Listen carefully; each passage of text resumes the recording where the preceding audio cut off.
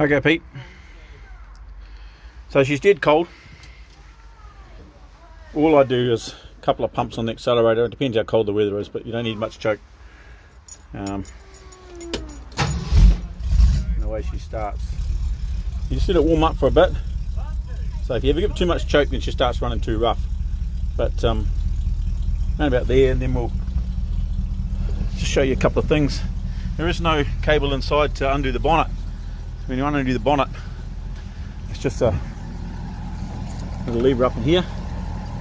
See that? Just under there. Pull it towards you, and up goes the bonnet. Under here, there's not a hang wheel up to show you. Just you know, washer bottle, oil filler, radiator. Um, nice new water pump there, mate. You shouldn't have any issues with that. Any master cylinder. Purrs like a kitten. New battery. A few other new little bits and pieces around.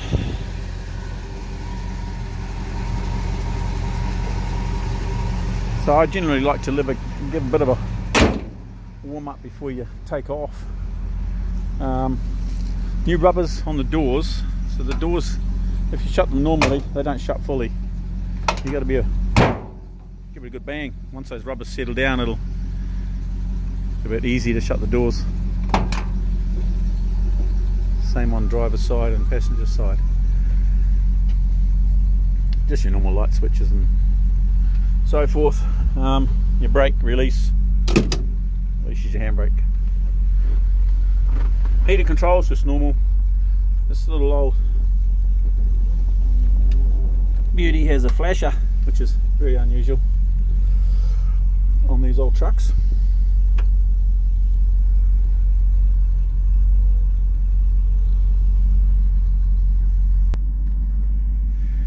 So, four speed manual, first gear, the only time you're ever going to use it if you get a steep incline like this. Um, and you can just idle up here, but general driving around town, um, you'd never use first gear. It's really just a crawler gear. And it is real low. So normal taking off when we get up here, taking off into the street, you take off in second.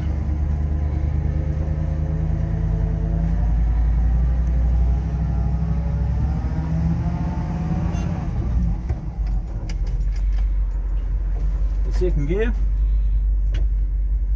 again, because she's not warmed up yet, temperature gauge hasn't really moved.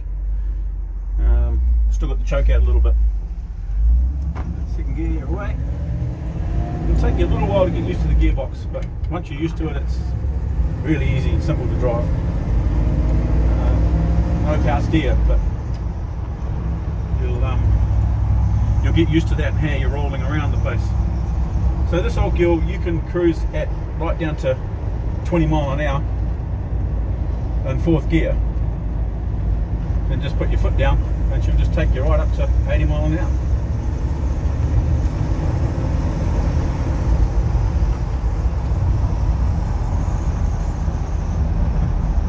Inside they've just got your basic vents, um, your heater controls, but they've got a vent down the side here, slide thing that slides open it's vent.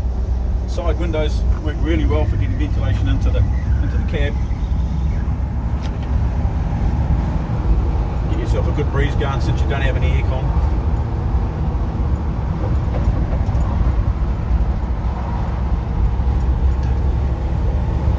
But yeah, hey, there's not a lot to them.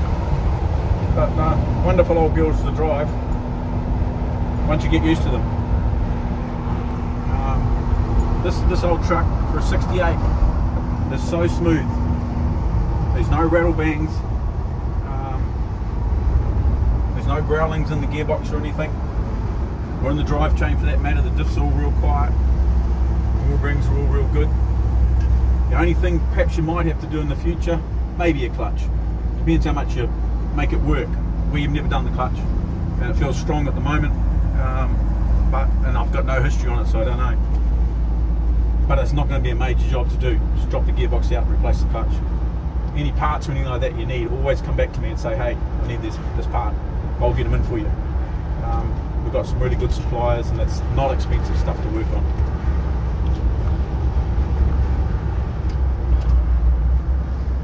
The brakes are boosted, but they're drum all round, but they're all new, um, and they do work really well.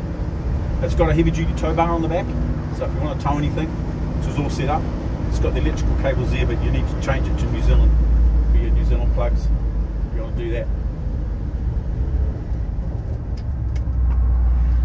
That's probably about all, really. Um, you'll probably find the steering a bit more loose than what you've been used to, um, but once you get used to it, it's perfectly safe and fine to drive but you might feel, oh, this has got a fair bit of play in it, you know, when you're cruising along out in the open road. But you can cruise along nicely at 70 mile an hour, and, um, no dramas. I'm actually running. I put some 98 in it.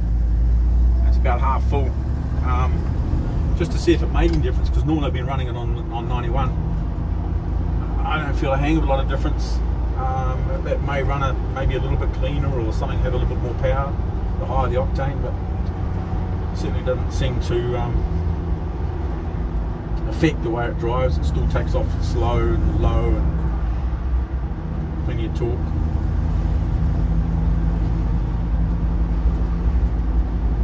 So yeah, enjoy the truck, mate. Hopefully see you down in Wanaka next time I'm down there.